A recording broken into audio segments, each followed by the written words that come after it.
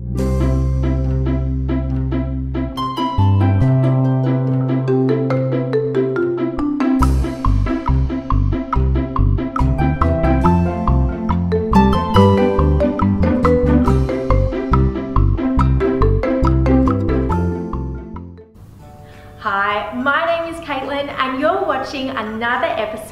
Water Safety Watch and Learn. Today we'll be learning all about how to stay safe at a beach and what different activities we can do there. We'll also be conducting a science experiment. But first, let's head down to coastal Victoria to see what we can find at my local beach.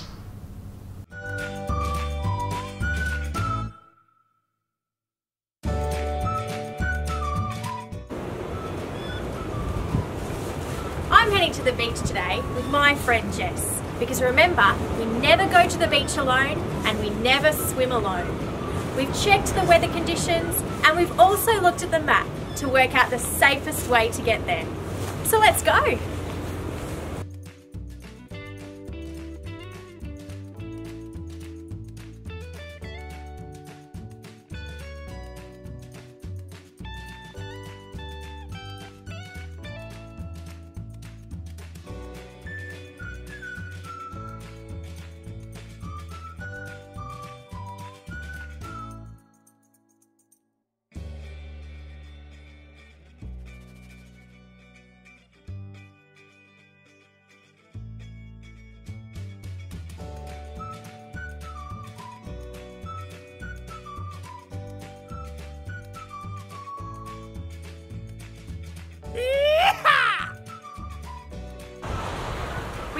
Arrived at Sorrento Back Beach. Before we head down to the beach, it's important that we read the beach safety signs. So let's go and find the beach safety signs for this beach.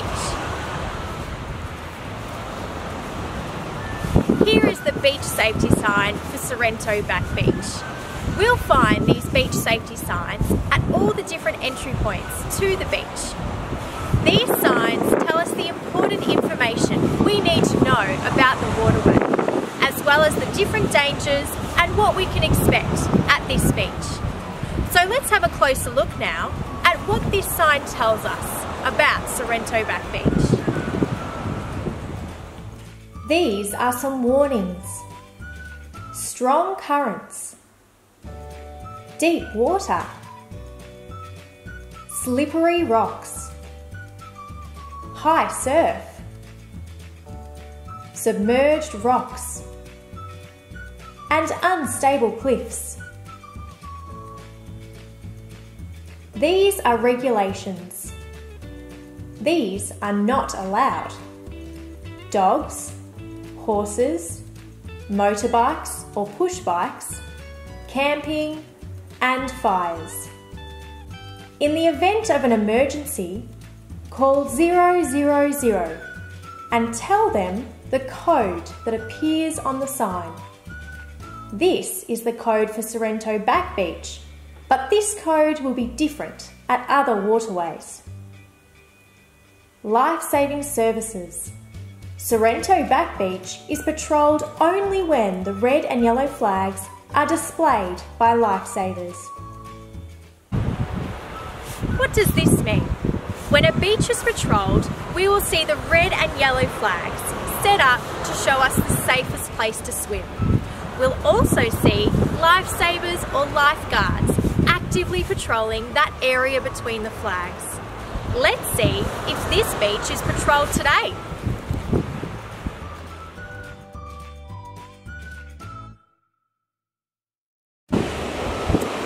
No, this beach isn't patrolled today.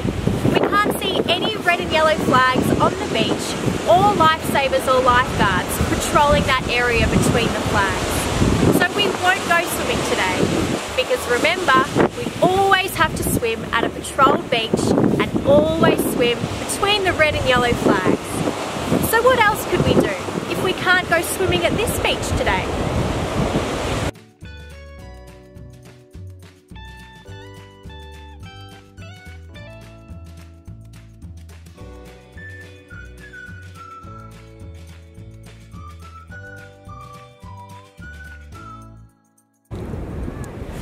Sometimes we might see rock pools appear at a beach. Rock pools are home to many different creatures. What sorts of creatures might we find in a rock pool?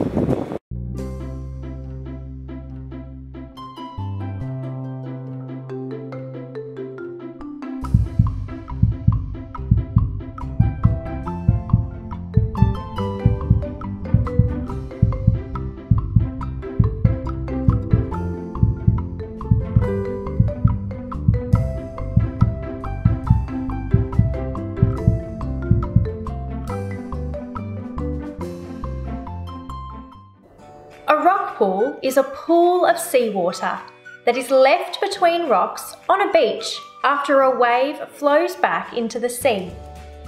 If you do not disturb the surface of the water, you may be able to see lots of different things like shells, limpets, mussels, oysters, barnacles, sea stars, seaweed, anemones, sea urchins, crabs, shrimps, snails, worms, seaweed sponges, and much more.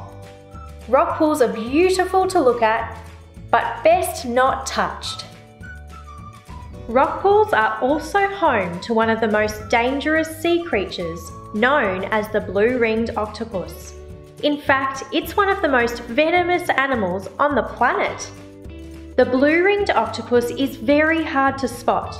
It camouflages in the rocks and can be as small as a 50 cent coin. When angry, blue rings appear and there can be deadly consequences if you are bitten.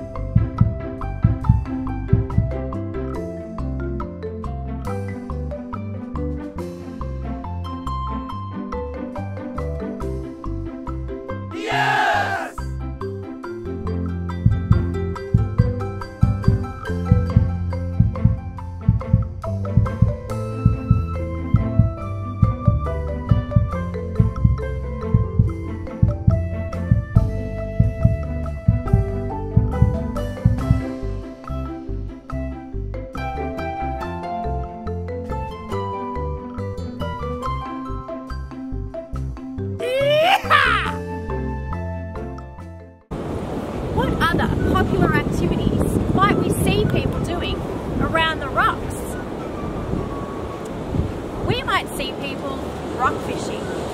Rock fishing can be very dangerous and that's why it's important that we always wear the correct safety equipment.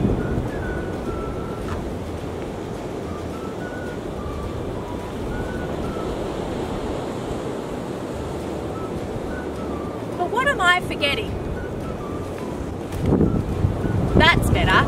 It's always important that we remember that we must wear a life jacket if we're doing any type of recreational activity on or around water.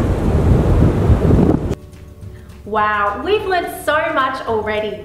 Let's take a closer look now at life jackets and discover the science behind how they work. So grab your worksheet and a pencil and let's get experimenting.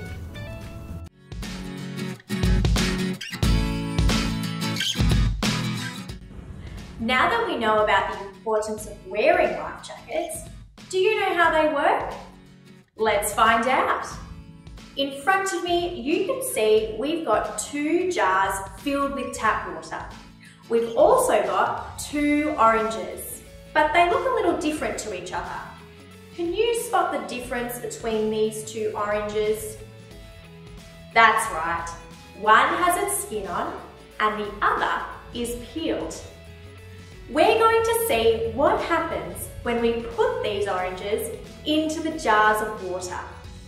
Can you predict what will happen when we put the oranges into the water? Will they sink or will they float?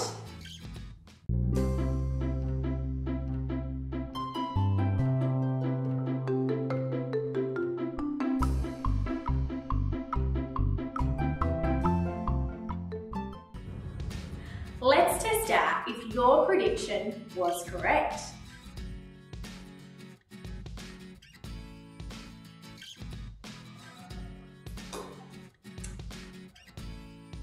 Wow, what can you see happening here? We can see that the orange with its skin on is floating, that the orange with its skin off has sunk right to the bottom. What does this tell us about the way life jackets work? Why did the orange without its peel, which is lighter than the unpeeled orange, sink? This is because of buoyancy and the importance of a peel to keep an orange afloat.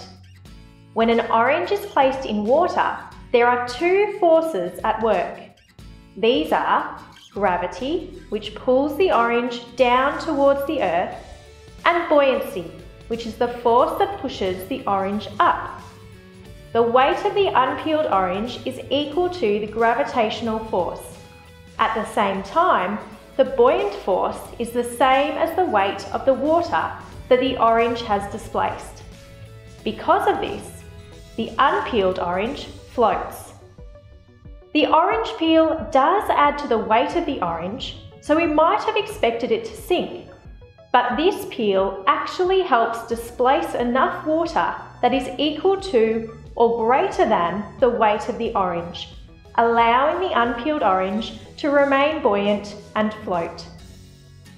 Just like a life jacket, the peel is filled with pockets of air that allow the orange to be less dense and therefore float.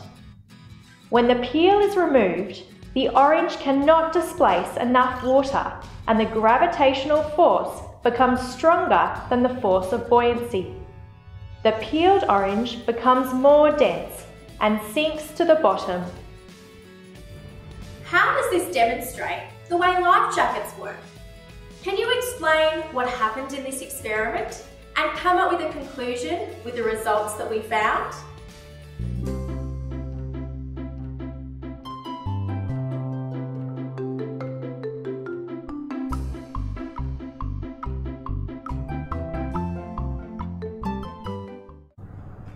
So everyone, it's time for you to have a go at your own activity. Make sure you remember all the water safety messages we learned in today's episode and we'll see you next time.